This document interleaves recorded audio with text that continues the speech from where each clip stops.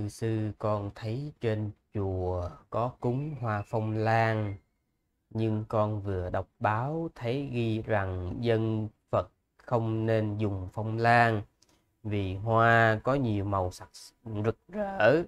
Mặt khác chữ phong gần nghĩa với phong tình phóng túng nên cũng không có nhiều người dùng để cắm lên bàn thờ. À, như vậy là thế nào? Ôi chao ơi cái này là mình mình dùng cái tiếng việt của mình để mình giải thích thôi. Và xin thưa là nó nằm trong cái khía cạnh tục đế chế định tức là gì? À, mình à, theo cái suy nghĩ cái tư duy của mình đấy rồi mình bắt đầu mình à, định đặt cho nó mình định đặt cho nó là nó có cái ý nghĩa gì? Xin thưa là người việt mình thì gọi nó là phong lan còn cái tiếng anh nó là ocule à, thì à, thì cái cái tiếng anh nó đâu có cái chữ phong nào ở trong đó đâu ha? Đấy. Rồi mình người việt thì mình định nghĩa theo cái nghĩa việt. Còn theo cái cái người mỹ à, cái cái người cái người à, bên phương tây đó thì họ định nghĩa đó uh, cái hoa phong lan á, thì nó lại có mang ý nghĩa là cái sự chu đáo rồi tinh tế ha? Rồi nó còn đại diện cho cái vẻ đẹp rồi cái sự quyến rũ à, đấy rồi còn nếu như mà tặng hoa phong lan ở, ở trong một cái đám tang á, thì nó đại diện cho một cái à, tình yêu mà vĩnh cửu của mình ấy, dành cho cái người đã mất. Ừ.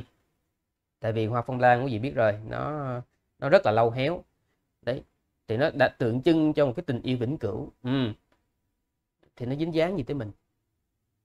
Dính dáng gì tới cái nghĩa mà phong tình uh, của mình?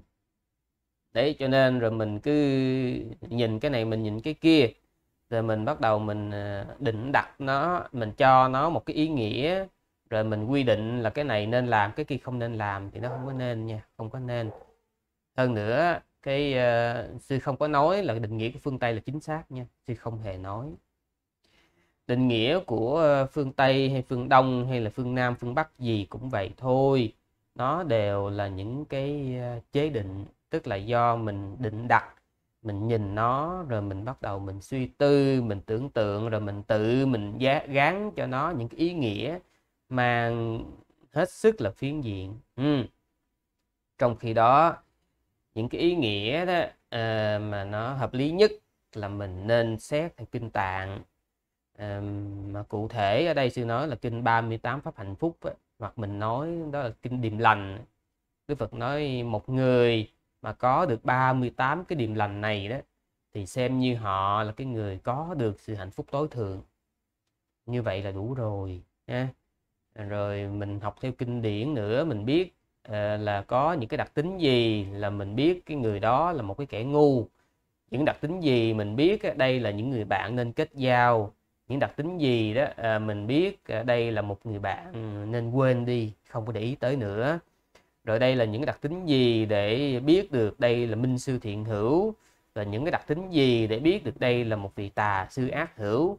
Đó mới là những cái mình cần quan tâm. Chứ còn à, mình tự nhìn một bông hoa rồi mình định đặt cho nó những ý nghĩa thì nó kẹt lắm.